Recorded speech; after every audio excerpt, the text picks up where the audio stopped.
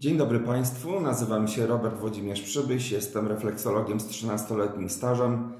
Nie tylko prowadzę zabiegi refleksologii, ale od wielu lat również nauczam refleksologii twarzy, rąk i stóp w Polsce, w innych krajach Europy i w Azji. E, pomyślałem, że mamy wyjątkowe czasy i na te wyjątkowe czasy mogę Państwu troszeczkę przekazać swojej wiedzy i doświadczenia, a ponieważ no już z tych kilkunastu lat pracy wynika, że za dużo, jeśli się chce przekazać e, osobom, które przychodzą tutaj, to nie zawsze jest dobry sposób.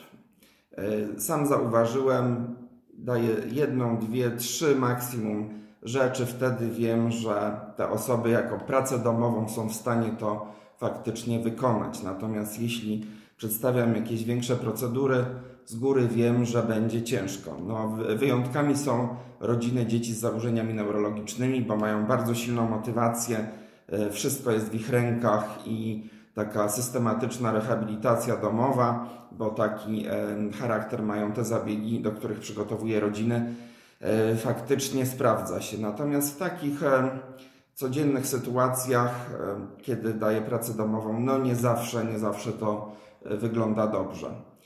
I pomyślałem sobie, że na tej samej zasadzie, w dobie epidemii, jaką mamy, mogę przekazać Państwu takie proste sposoby, jak sobie radzić, jak pomagać swojej odporności, czy jeśli chodzi o układ oddechowy, co można zrobić tak ad hoc, na szybko, bez całej wiedzy, zaplecza, umiejętności. E, w pierwszym filmie, jaki nagrałem, e, pokazałem bardzo prostą stymulację stref na rękach, e, która pozwala podreperować nasz układ immunologiczny, naszą odporność, która jest kluczowa w walce z wirusami. Na dzisiaj zostawiłem sobie przede wszystkim układ oddechowy, płuca, oskrzela. I myślę, że tutaj najpierw zacznę od stref na twarzy. Są to strefy płuc, tutaj pod kością jarzmową, miękka część policzka. Z jednej i z drugiej strony będziemy pracować symetrycznie. Państwo zauważyliście, już wziąłem do rąk taki profesjonalny dla nas refleksologów przedmiot e, metalowy, obło zakończony, to jest istotne, ponieważ tym przedmiotem będę pokazywał, co można zrobić, a Państwo, no cóż, to, co macie w szufladzie, możecie wykorzystać. Może to być trzonek noża, może to być obło zakończona łyżeczka do kawy. Cokolwiek znajdziecie w szufladzie, będzie dobre, o ile będzie metalowe. I będziemy wykonywać 30-40 szybkich i mocnych ruchów, pod kością jarzmową w kierunku ucha z jednej strony, a potem z drugiej strony. Czyli dosyć mocno, ja tutaj nie wchodzę głębiej pod kość, ale te mocne ruchy będą tego wymagać. Także nie jest to skomplikowane, każdy może to zrobić. A pytanie, czy to działa? Działa, bo praktykowałem na sobie przez parę lat ładnych już e, i również na innych. Zdarzało mi się pracować na oddziałach intensywnej terapii, gdzie osoby leżały i oddychały przy pomocy respiratora, wspomagane przez respirator. Jak wiecie Państwo, mm, na monitorze pokazywane są parametry oddechowe e, i sam byłem zaskoczony, jak ta stymulacja szybko działa, bo te parametry naprawdę błyskawicznie się poprawiały. Także to jest jeden sposób. Drugi sposób na rękach, znowu przechodzimy do rąk i e, palec środkowy paliczek bliższy i tutaj będziemy w dwóch liniach, tak jak to tutaj e, zaznaczyłem. Będziemy pracować w kierunku wierzchołka palca. Myślę, że na każdej z tych linii możemy spokojnie te 30 ruchów wykonać na jednej ręce, na drugiej ręce. Jeśli mamy suchą skórę, to oczywiście przyda się troszeczkę kremu, żeby był poślizg. I pracujemy zawsze do góry. Jest to proste i nawet te 30 ruchów nie zajmie nam dużo czasu. Jedna strona, a potem druga strona.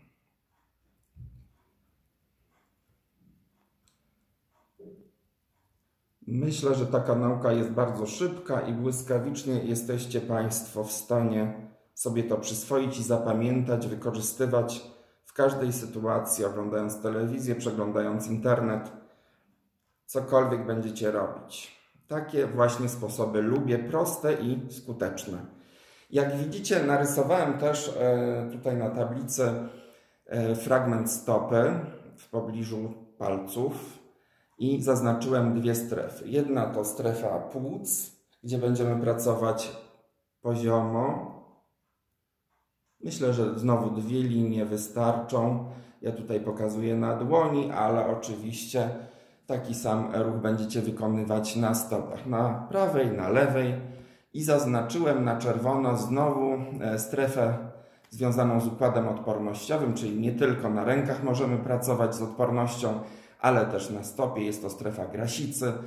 I e, tutaj również zalecam pracę w poziomie, tak jak strzałka wskazuje. Bardzo często e, pracując tutaj w gabinecie, pracowałem z chorobami autoimmunizacyjnymi i właściwie w każdym takim przypadku, gdzie układ e, immunologiczny nie działał prawidłowo, tym miejscu zaznaczonym na czerwono w receptorze grasicy były zgrubienia stwardnienia, czyli tak jak my refleksolodzy mówimy, złogi podskórne. No i cóż, inaczej się nie da, trzeba te złogi rozpracowywać. Jeśli chodzi o te strefy, które pokazałem, czy na twarzy, czy na palcu środkowym ręki, czy ta strefa zaznaczona, jeśli chodzi o płuca, no to wiadomo, e, pracujemy wtedy, kiedy pojawią się jakieś problemy oddechowe.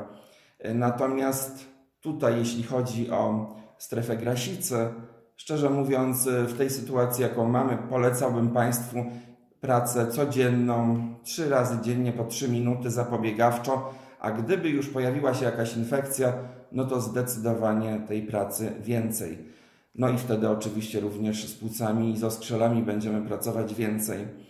Także myślę proste sposoby do wykorzystania w każdych warunkach, oby nam to nie było potrzebne.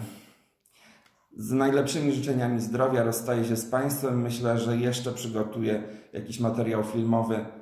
Bierzmy nasze zdrowie w swoje ręce. Do zobaczenia.